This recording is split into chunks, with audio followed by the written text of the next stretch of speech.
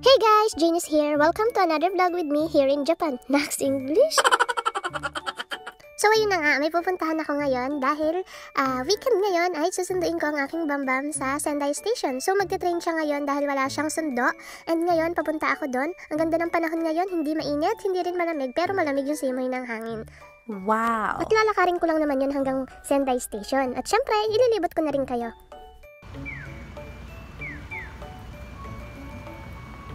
Mahaba-habang lakarin nga ito at nakita ko nga itong blue giant na ito.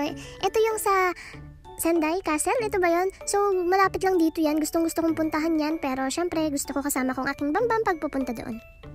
At habang naglalakad nga ako, ay napapaibig ako bumili ng mga nakikita ko. At dahil kita ay kumarites, nakita ko itong mga strawberry-strawberry na to. Nagandahan ako, kaya nagpicture muna ako. Tapos, bigla ako na-curious bakit may hagdan pababa. So, talagang pinuntahan ko. Tiningnan ko kung ano yung laman doon sa babang yun. At pagpunta ko nga doon sa babang ito, tinahak ko itong hagdan na ito, tinahak talaga. So pagtahak ko dun sa ilalim at nakarating na ako, aba, ito pala ito, laruan. Dito yung mga playing station and si kuya nakita ko ilang beses na siya naghulog dito ng yen at talagang hindi siya sumusuko, makuha lang yung beer. O sige kuya, kaya mo yan. At dahil napaaga ang punta ko dito, nandito na ako ngayon sa Sendai Station. So ito yung itsura niya mga kumarites. Ito yung Sendai Station. Yan po yung station ng mga tren. So dyan bababa ang aking darling. Kaya dyan ako pupunta. Natural. So ayan guys, napaaga yung punta ko. Kaya papasyal muna ako dito sa loob. Yung loob niya na parang mga mall. Maraming mga pasyal-pasyalan at kung ano annex. So pasok tayo guys. Samahan niyo ako.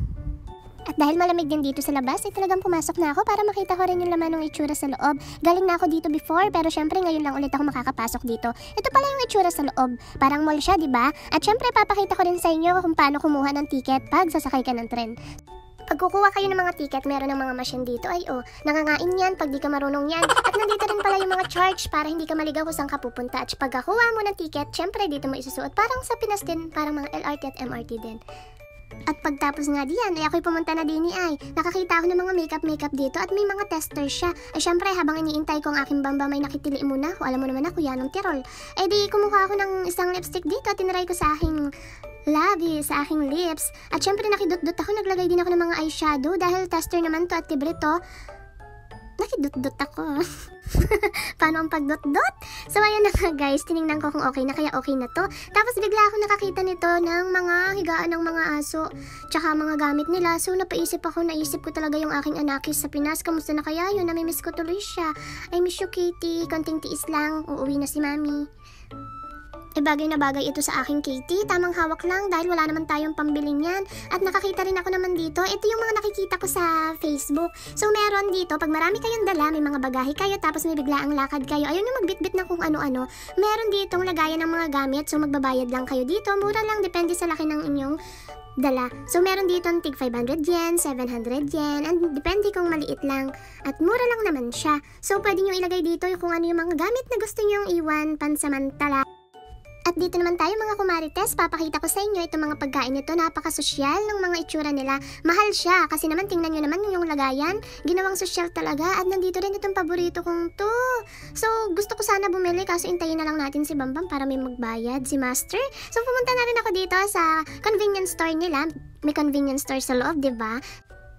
At tiningnan ko yung mga noodles na ito. Yan, ang cute. Ang kulay nito ay color pink. Gusto ko sana ang bilhin pero yung kulay lang naman yung gusto ko kaya wag na lang. At dito ako pumunta sa chili tomato ko pero wag na lang din. Nangihinayang ako sa pera ko. Napakamahal naman kasi ng bilihin. Tapos yun guys, uh, dahil uhaw na uhaw na ang aking lalamunan, gustong gusto na talagang makatikim ng malamig-lamig. Wala yung favorite Fanta ko, kaya itong na lang ang pinili ko, grapes din naman siya. Tapos habang nagiintay ako kay Bamba, may lumabas muna ako. Nakakainip din maglibot sa loob. Tapos ayun guys, ilang minuto na lamang ay malapit na rin daw si Bambam ko. Malapit na siya mag-landing. Landing? Eroplano yan? At tumupo muna ako dito dahil malapit na rin naman ang aking darling. Tapos natutuwa ako habang umuupo ako. Ay, tinag-timelapse muna ako. Natutuwa ako sa mga tao, sa mga dumadaan. At saka nakikita ko yung mga fashion talaga nila. Ang fashionista nila, ang gaganda ng mga style ng mga suot nila. Maging sa boots hanggang sa mapaulo hanggang sa kahit saan aking darling. So, ayan ang aking bambam. Welcome back! Welcome back! At pagdating ng aking bambam, umupo pa. Sabi ko, wag na umupo, tara na. Dahil alam nyo ba guys, alam nyo mga kumarites kung bakit nagtsaga din ako maghintay dito ng Gulpin Tagal, eh may ipapabili ako kay bambam ko. Yun naman pala.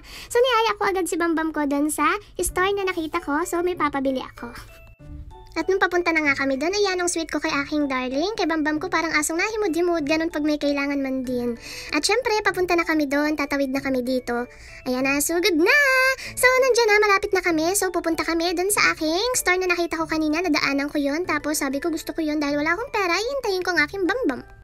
At naroon na, nandito na kami sa store na nasabi ko sa inyo. Maraming magagandang mga gamit dito tulad ng mga bag, sapatos at kung annex-annex. Dahil mahilig ako sa bag tsaka sa sapatos.